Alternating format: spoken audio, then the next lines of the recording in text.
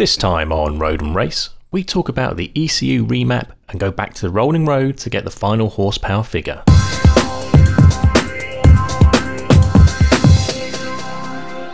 In the previous two parts, we say how much power a new exhaust, throttle body, airbox, and underdrive pulley made by fitting them to Richard's car, and then taking them to the rolling road to see how much power they made. In this episode, we talk about the final modification left, the ECU. A car's electronic control unit, or ECU, is basically a computer, and it controls everything to do with the engine. It manages when to inject fuel, how much, and when to ignite it. If it does any of these things wrong, such as inject too little fuel or ignite at the wrong time, you'll get less power, but more importantly, you could damage the engine. If you make changes to the car, then there's opportunity to adjust the ECU to take advantage of them and release more power from the engine. When Richard bought the car, he found a receipt for a Stage 1 ECU remap, but he didn't know if it was still being applied to the car. So he rang up the dealer and they kindly agreed to apply it again. When he got there, he found out that this simply meant taking an off the shelf configuration file and applying it to the car. We took the car back to the rolling road looking to see how much more power above the 273.8 horsepower we got before. And wait for it, we got exactly the same result again. Both curves for torque and HP were pretty much identical. So it's probably safe to say that the ECU Stage 1 remap was still active. Here's another graph showing the air to fuel ratios. Without going into too much detail, the ideal ratio is 14.7 to 1. From what I've read in the real world, you should expect something between 12 and 13 to 1. So the car is running a little richer than it did before all the mods. Still, all within safe limits, just burning a bit more fuel than before.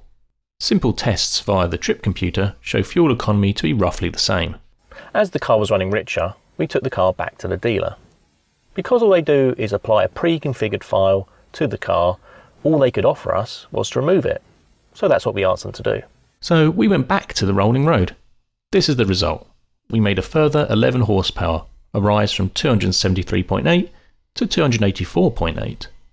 Torque was also up from 239 foot-pounds to 249.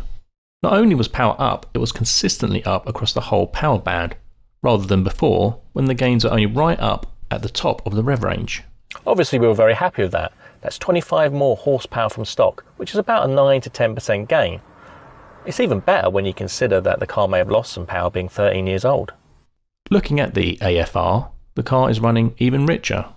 This left me with one question. Why was this? I'm not a tuning expert, so all I can do is report what we found and take some guesses. So here are my thoughts. I think it's fair to say that off the shelf one size fits all remap doesn't fit all. How could it? You need to take into account every single individual mod. That's probably why when we removed the stage 1 remap and went back to the original Porsche map, that we got more power. Why is the car running richer? Leaks in any of the air supply intake pipes could do this, but we've checked for leaks by using an easy start spray and there are none. We've also checked the fuel trim levels to confirm this and they're in normal ranges. My guess is that as more air is now flowing through the engine, the ECU is compensating by adding more fuel, but maybe a little bit too much. The next steps? Well, we have two options. The first one is to stay where we are. We've got the 25 extra horsepower, and that's great. The car is running a little bit richer than before, but still within normal parameters, so we can live with that. The other option is for a custom ECU tune on a rolling road. Prices for this start at about £600 and no one can really tell me how much more power we could expect to get out of the car. So we'll keep investigating and we might make a part 4 of this video in a few months time.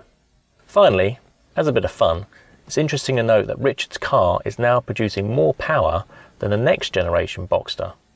The 987 Boxster with the same 3.2 litre engine produces 276 brake horsepower and Richards is now producing 9 more. Next time on Road and Race, I thought I'd try something a bit different. Follow me on my journey to get my rear plastic window repaired. If you found this video useful, please subscribe and hit the like button as it really helps us make more shows. Please feel free to get in touch by leaving a comment on this video and I reply to everyone. Links to follow us on social media are in the description box. Thanks for watching.